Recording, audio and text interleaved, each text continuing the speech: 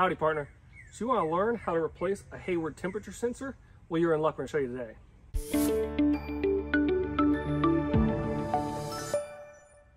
Today, we're going to run through a quick how-to video on replacing your temperature sensor on your Hayward pool equipment. If you haven't already, please go to the bottom right and hit that subscribe button, and you can check out all of our pool series videos that give you helpful tips and tricks on maintaining a pool. So I'm just an average guy, not a pool repairman, but I can do these projects and so can you. So looking at this, this temperature sensor works on water, air, solar. They're all pretty generic.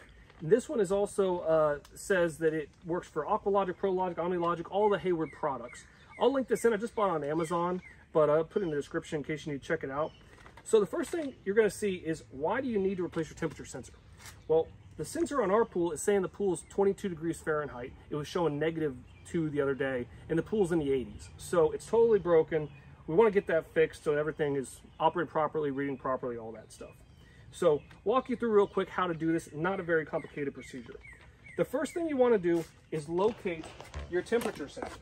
So what you're going to do is you're going to come over to find, it's going to be clamped onto one of your pipes, and it's going to be this little black thing here. And what this is, this if this is an outside air sensor, it might just be hanging over by your pool uh, control panel. But if it's checking the water, it's going to be in here. There's a hole drilled and it's in there and it's clamped on with a pipe and there's a washer. So we'll talk about how to get that replaced in just a second. Once you find it, you want to find this brown wire that's attached and you've got to trace it back.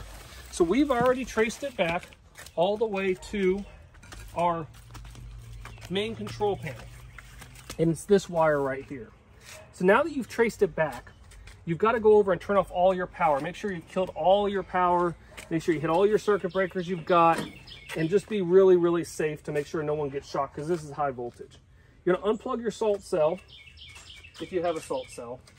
And then you're to go ahead and remove the cover panel, making sure everything is safe and turned off to your to your uh, control panel. They're to be a little different. This one's got two screws on the top. I already took one out. Don't lose those screws. So this will tilt out and it comes up. And you see you have a whole lot of wires in here. If you have a non-contact uh, voltometer or any type of voltometer, you can check.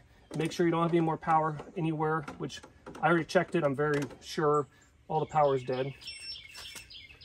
So we're gonna take this wire that we traced from that temperature sensor. We're gonna come up here, and if you zoom in real close, you'll see that it says in the back that it says pool spa sensor. And then below that says air sensor. So it's the two top wires right here are what goes to that. So you want to take a really, really tiny screwdriver and you're going to unscrew these two screws to loosen up this red and this black wire. I'm going to leave them in right now because I want to first start over with the sensor. So stay tuned. We're going to get that taken out. So when you're ready to go ahead and remove this, you want to try to release some pressure from your valves. And then if you have anywhere to close off your water, I'm going to take my flush valve and move it to the closed position. You want to try to do that. Now that's going to stop the pressure, but you don't want all the water running out. You take this out, you're going to have a little bit of water come out. So you want to prep your prep your uh, your your piece here, your temperature sensor, and I like to use a little bit of this lube tube, which is just a, a lubricant that helps to really uh, make everything nice and waterproof. And I'm just gonna take a little bit of that and run it along this O-ring here to make sure we get a real good waterproof seal. Okay. So, once we've done that, then we're going to come here and we're going to loosen the O-ring that is currently in place. So I'm going to loosen this up. This one's already been replaced once, and you see they actually glued a piece of PVC over the previous hole. It was probably a different size component, but this one looks like an exact replacement, so we shouldn't have to do that. And you can probably reuse this clamp if you'd like to. So now that we've got that removed, we're going to go ahead and we're going to pull it out and I expect water to come out. So I want to be ready with the new one to go ahead and throw it on and get it clamped up. So let me just get this new one ready.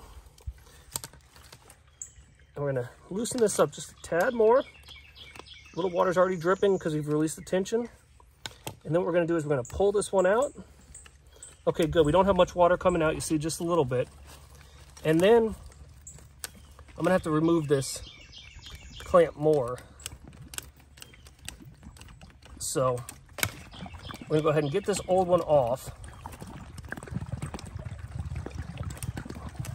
All right, gotta move it more.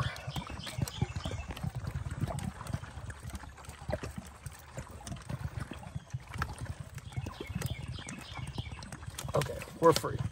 You take the new one, make sure it's clean. You got that lubricant on it. You're gonna work it up through your O-ring. You can use the new O-ring or the old one, it's up to you. And you wanna plug this in. And once you plug it in there, then you're gonna put the new, you're gonna clamp this down.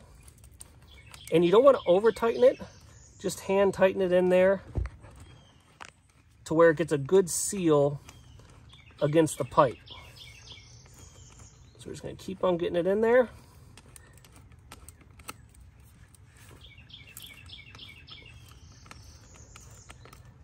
Now we're gonna check to make sure it's not dripping and then we'll run the wires back. Stay tuned. Okay, so we've run this wire all back. Now this original one had a red and a black. We've got a red and a white, so we're just gonna use the black as the white but you want to unscrew the two terminals here at the top. You're to take those out. And then if you need to, you might need to strip a little more wire off the end to see how you can get it in there. So we had the red on top. I want to go ahead and put that back in there.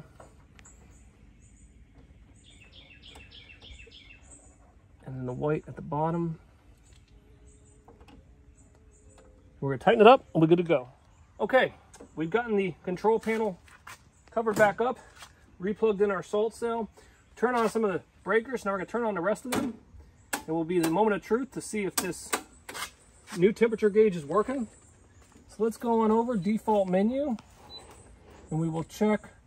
It says pool temp 80 degrees, which means the new temperature here is 76. The new temperature is working. So that was an easy fix. Let's just check the new connection. We're under full pressure now, and there is no water coming out of here. So I think we're in good shape. Stay tuned. Okay, well thanks for tuning in to another Mr. Greg's How To, especially our pool series. Again, be sure to like, comment, and subscribe. If you have any questions at all, please go ahead and put them in the comment box. That's a pretty easy repair, but hopefully walk it through to give you a little bit of confidence that you can definitely accomplish that. So again, thanks for watching, and remember, if I can do this, you can too.